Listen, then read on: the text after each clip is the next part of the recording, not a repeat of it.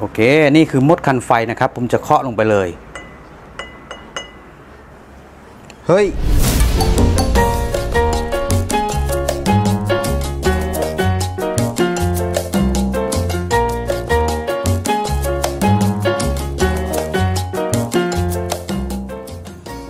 สวัสดีครับ พบกับผมเกษตรกรชาวบ้านนะครับ เคยสงสัยไหมครับว่า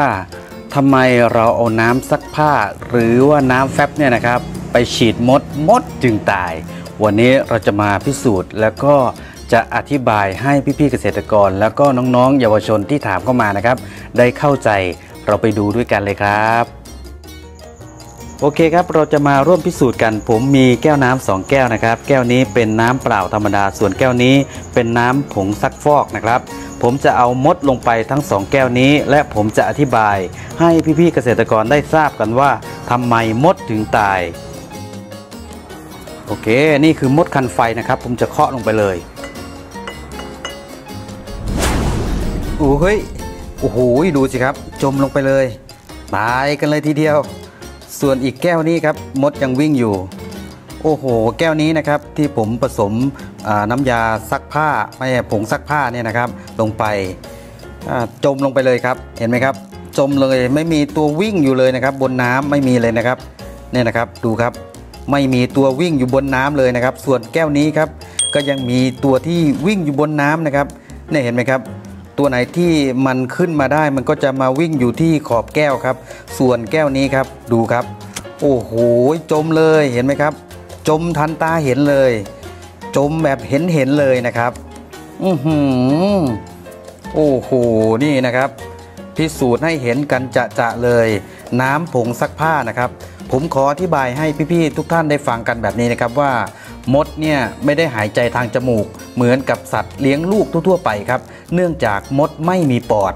อันที่จริงแล้วไม่ใช่เฉพาะมดเท่านั้นนะครับที่ไม่มีปอดแมลงแทบจะทุกชนิดนะครับไม่มีปอดแมลงจะนำออกซิเจน เข้าสู่ร่างกายผ่านอวัยวะที่เรียกว่า spiracle spiracle นี่เป็นรูเล็กๆ ที่ขนานอยู่ตามลำตัวของมดนะครับแล้วก็แมลงต่างๆ ซึ่งการหายใจทางรูเล็กๆ นี้ก็มีเหตุผลเดียวครับ คือ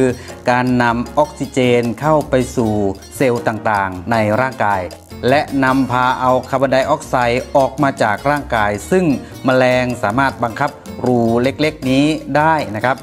มาถึงคำถามครับทำไมแก้วน้ำที่มีผงซักฟอกมดจึงตายจมลงไปเลย และแก้วน้ำที่ไม่มีผงซักฟอก เป็นแก้วน้ำธรรมดา มดยังลอยตัวอยู่บนน้ำได้เลย ขออนุญาตอธิบายตามรูปภาพนี้นะครับพี่ๆจะเห็นว่าที่ตัวของมดเนี่ยมีขนเล็กๆอยู่นะครับเนี่ยครับขนเล็กๆเหล่านี้จะช่วยพยุงเขาไม่ให้จมน้ำ เวลาฝนตกเขาจึงหายใจได้อยู่ แต่น้ำผงซักผ้านะครับเนี่ยครับ แบบนี้เลยครับ มันทำลายไอ้ขนเล็กๆ ที่อยู่รอบตัวของเขานะครับ มันทำลายหมดเลยเขาก็เลยจมเพราะว่าน้ำผงซักผ้า น้ำผงซักฟอกเนี่ยนะครับ มันลื่นไงครับ เพราะฉะนั้นเวลาเราใช้น้ำผงซักผ้า ไปฉีดมด มดจึงตายนั่นเองนะครับ ดูอีกครั้งหนึ่งครับ นี่แบบนี้ครับ